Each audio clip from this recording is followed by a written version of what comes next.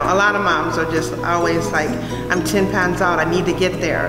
But Yes. if they get rid of that, then they're not able to Yeah. have the nutrition for their baby. Yeah. And I can say it until I'm purple in the face and they go, oh, but yeah, Yeah. you know, you just want me to eat. It's not that I want you to eat. And Yeah. you're saying it too. Yeah. It's all a process and it's all needed. it's learning what to do and, and every every month is different for the body so while you're nursing you're going to have to keep keep a little bit of extra weight on a lot of our clients there's that five to ten pound range that they're really you know they get they, they lose a lot of the weight and it's just that five to ten pounds that a lot of people struggle with and they want to they want to know why the weight won't come off. But if you do try to over exercise or really cut the calories you're not to produce enough milk for the we've had plenty of people that have come in that they try to overdo it and then you know they're not producing enough milk. So usually we just try to try to just understand that there's going to be that extra five to ten pounds that you have to keep on. And once you stop breastfeeding the body's going to slowly kind of figure it out. I mean it's all hormones. You know how it is